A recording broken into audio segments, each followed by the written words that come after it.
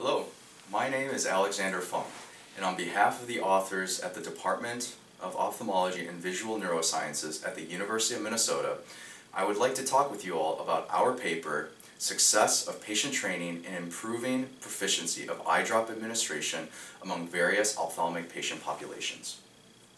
Safe and effective technique in the administration of eye drops is indispensable in the medical management of many acute and chronic ocular diseases, including glaucoma, ocular hypertension, keratoconjunctivitis sicca, postoperative eye care, and others.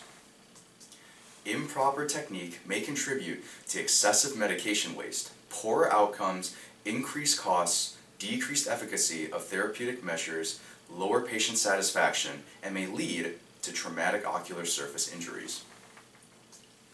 The purpose of our project is to evaluate the success and usefulness of patient education and eye drop it self-administration technique via an educational handout and a short instructional video. We conducted a prospective study that included 34 patients self-administering ophthalmic drops. Subjects were recorded and assessed by a trained observer on two occasions, at baseline and after they viewed a demonstrational video and educational handout.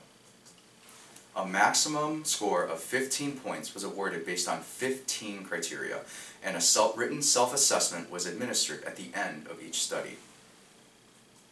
We found that pre and post-teaching assessment scores improved significantly with education, and baseline scores improved by a statistically significant factor of 2.43 times.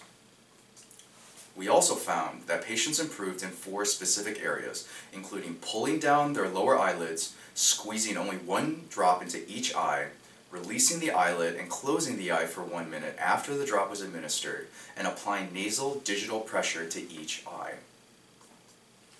Of note, we found no significant difference in score changes between those who previously received education and those who had not.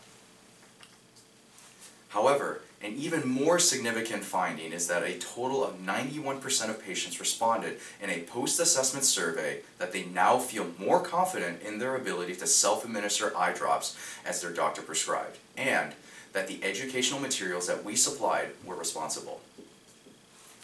These favorable patient outcomes have the potential for significant benefit in many areas of ophthalmology, including improving cost effectiveness, decreasing healthcare costs, limiting medication waste, improving clinical outcomes, patient satisfaction, and compliance.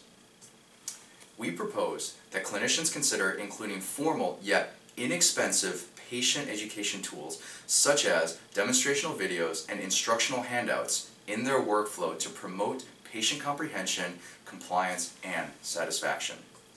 Thank you so much for watching.